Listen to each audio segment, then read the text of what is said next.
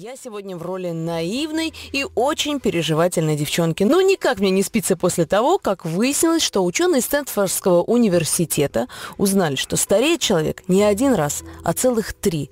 Ну, скажем честно, стареть страшно всем, а тут еще и три раза, и оказывается, что возраст старения уже критически близко. Расскажите, Владимир Игоревич, в первый раз, когда человек стареет? Так, тем, Кому вот-вот исполнится 34 года, пожалуйста, приготовиться э, к первому старению человеческого организма. Сейчас вот. немного вздрогнули те, кому уже за 34. Так. А тем, кому еще нет 34, пусть не считают себя какими-то пожилыми. Э, это Молодежь еще. 34 не исполнилось, все еще молодой человек, можно обращаться. Молодой человек, а вы не выходите на следующей остановке? Вот так вот. А что ж такое в 34 случается, что человек становится старым? Случается три раза. Вот то, что как раз обнаружили ученые из медицинской школы Стэнфордского университета. А, руководитель работ был некто профессор Тони Уискорий. Они обратили внимание на те изменения, которые происходят э, в крови людей с возрастом. Для этого набрали добровольцев больше 4 тысяч в возрасте от 18 до 95 лет и стали смотреть, что же в их крови происходит. Конкретно обращали внимание на так называемый белковый комплекс. Вообще кровь она насыщена разнообразными белками, которые попадают туда из разных систем и органов нашего организма. И по количеству, состоянию этих белков, собственно, можно узнать, откуда, из какого органа они конкретно попали. И как там дела? Э, как там, в общем-то, дела обстоят. Нет, с делами-то, конечно, это пока еще рано об этом говорить. Но вот откуда они попали, э, это э, точно можно. И что происходит? А вот они смотрели, смотрели, изучали вот эту кровь, изучали, изучали. И вы нашли некую закономерность. Первое нашли вот три этапа старения. Первый – 34 года, второй – 60, третий – 78. Такие три ступени, которые ведут на тот свет. Их всего, оказывается, три штуки, мрачно, мрачно сказал я. Так вот, что происходит? У подавляющего большинства обследованных людей меняется белковый состав крови.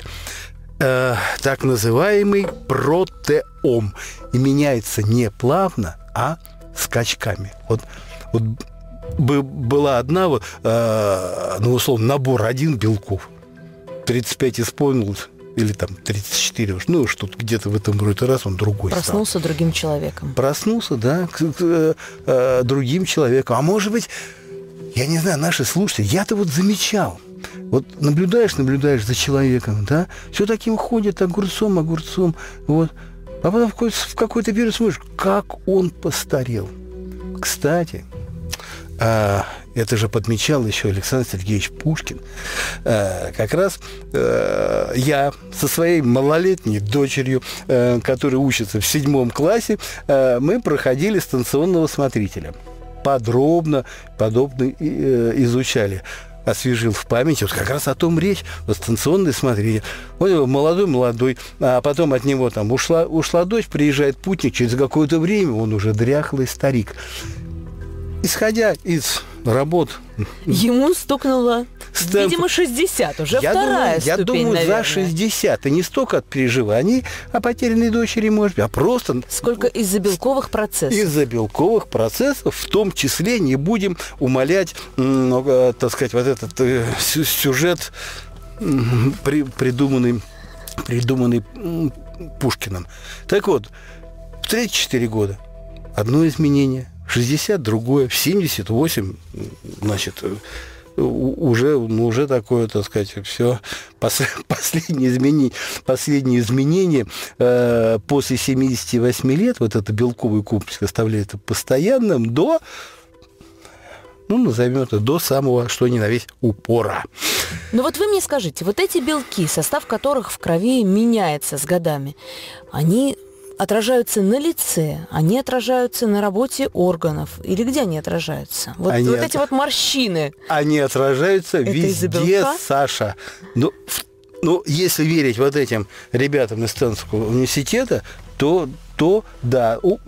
Кстати, кожа это точно такой же орган, как, как любые другие. Кожа это орган человека. Кожа, сердце, легкие, печень, печень, почки. И вот если как следует э, работа-то еще в самом начале, но если как следует проанализировать вот эти белки, да, вот какое состояние вот этих белков, благодаря работе каких органов оно, оно стало таким, то, собственно, можно и выявить э, какие-то нарушения в этих, в этих органах. То есть что-то будет свидетельствовать о том, что печень не в порядке, что-то там кожа не в порядке, потому что в процессе этого исследования выяснилось, ну, собственно, а, э, я бы сказал так, не выяснилось, а в который раз подтвердилось, что разные органы человека стареют э, с разной скоростью.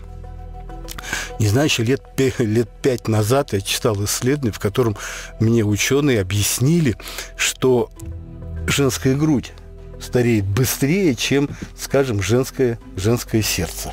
Вот, вот тоже выявили, тоже что-то изучали, как- какие-то молекулы. Поэтому человек же умирает вот после, когда вступил на последнюю эту ступеньку 78 лет. 78. Ну, Не от того, что он он же не на части разваливается. У него отказывает какой-то, ну, как правило, один какой-то орган. Бывает, ну, бывает два, бывает два сразу. Но начинается все все равно с одного. А все что? Потому что орган, оказывается, стареет с разным... э, стареет с разным скоростью. С разной скоростью. Хорошо. Отличается ли эта скорость старения у мужчин и у женщин? Кому страшнее должно быть вот в эти промежутки, вот в эти периоды Выяснили- времени? Выяснили, выяснили ученые. Женщины стареют быстрее почему-то. Вот сейчас обидно. Почему, почему-то так.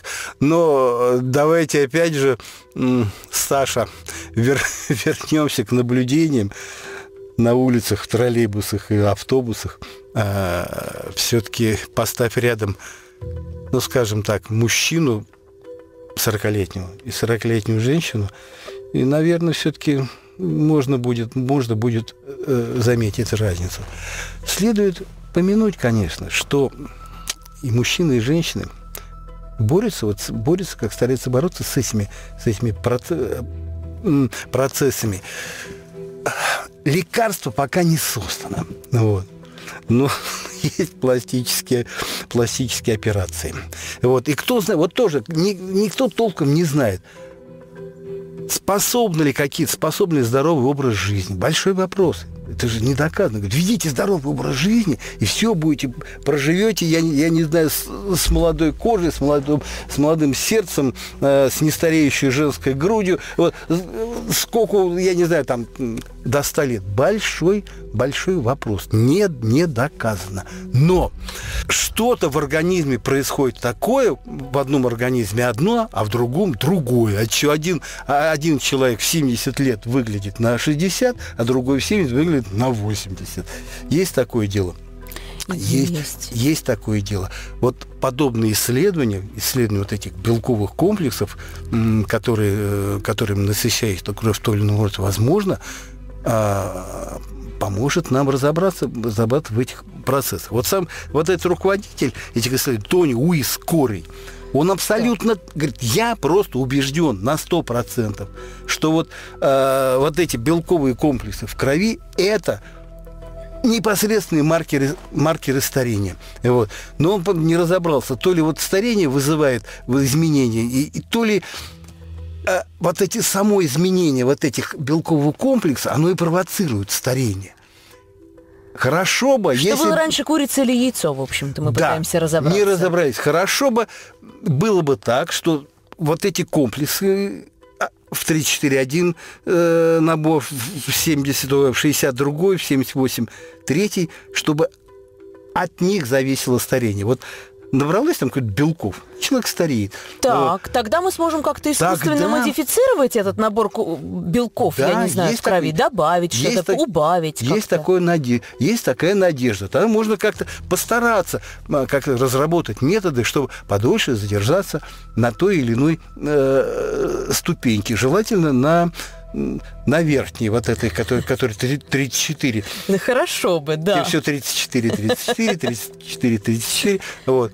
А смотри, а по паспорту 60. Ну, бывает такое, Было что бы хорошо. биологический возраст, он, э, что он меньше кален- календарного. Три ступени, в которые человек становится старше. Зависят они от количества белка в крови, от какого-то белкового состава.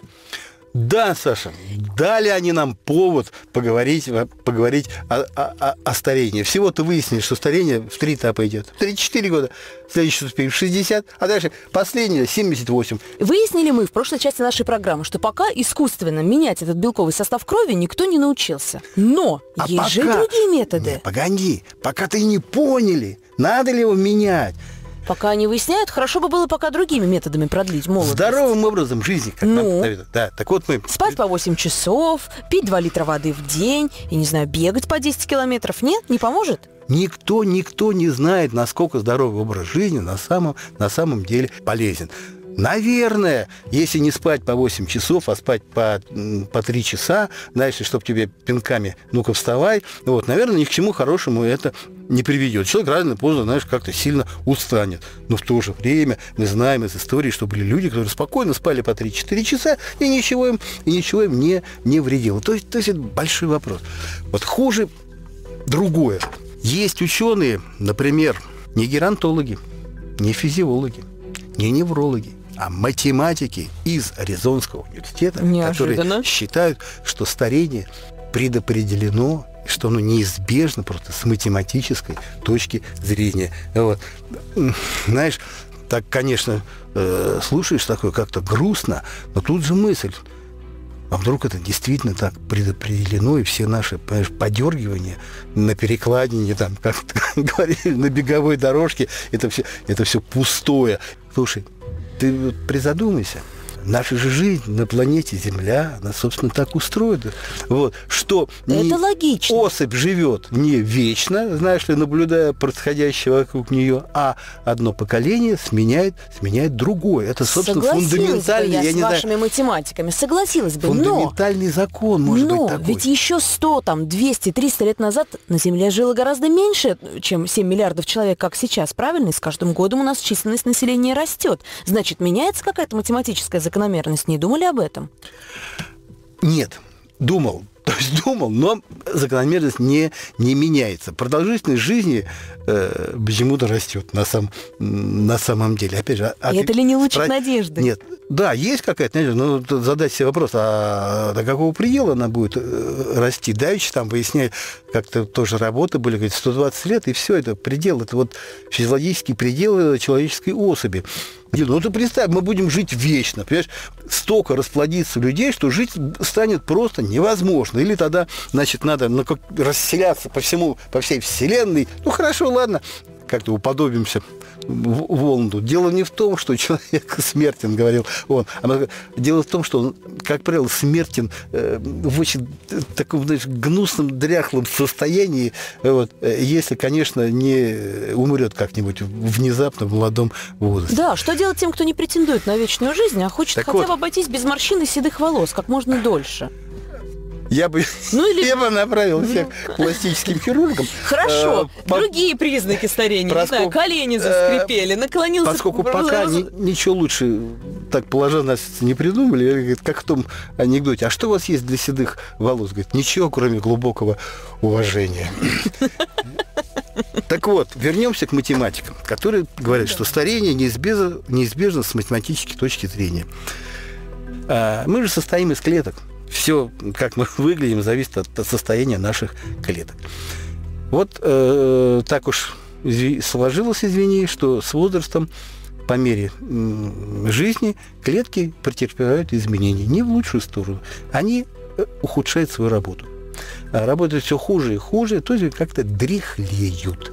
Есть другой процесс, как бы обратный, что клетки стремятся избавиться от этого дряхле- дряхления, но начинают бесконтрольно размножаться э, в борьбе за, пытаясь освободиться вот от этого старения. Попахивает онкологией. А тут попахивают онкологией. И вот если верить вот этим математикам, то наша вот жизнь человеческой клетки, она как бы идет между двух вот этих, то есть, то есть старения, якобы спасает от онкологических заболеваний. Если что, если что не так, то вот онкология, ну и все, и все померли. Вот они составили такое некое уравнение, которое вот учитывает вот эти два процесса.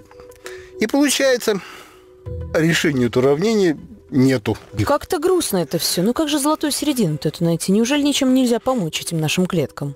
Смотри, э, обнадежим.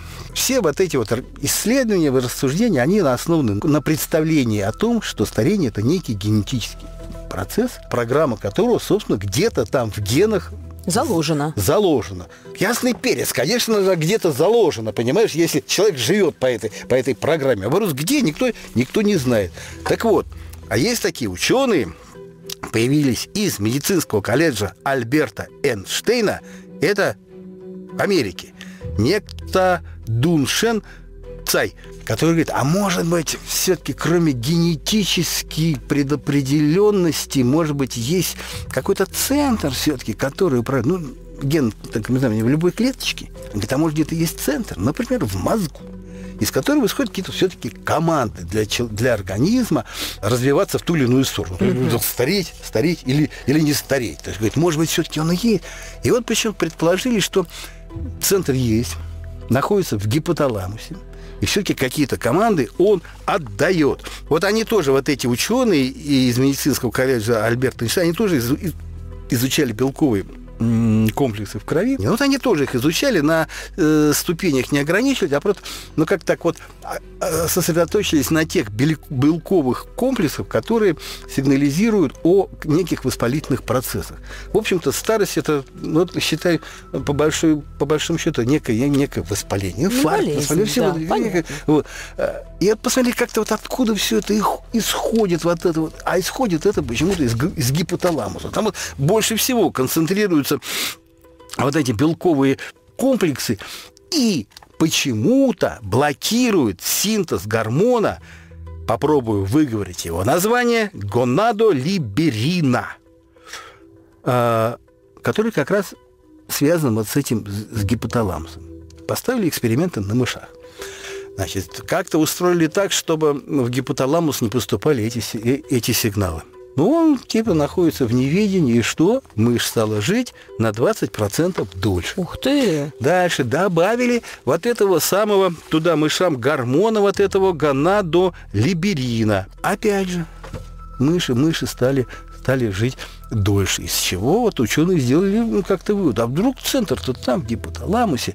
Вот. А, что ж, Хочется пожелать им успеха, разобраться в этом до конца, и вдруг, э, и поставить, может быть, как-то опыты на, на людях. Но вдруг, кто его знает, найдут какие-то методы, и слушаем мы эти обещания уже лет так 30. Но главное, что есть надежда. Вот на этой позитивной ноте хотелось бы сегодня программу закончить. В студии был Владимир Логовский, научный обозреватель «Комсомольской правды». Меня зовут Александра Кочнева.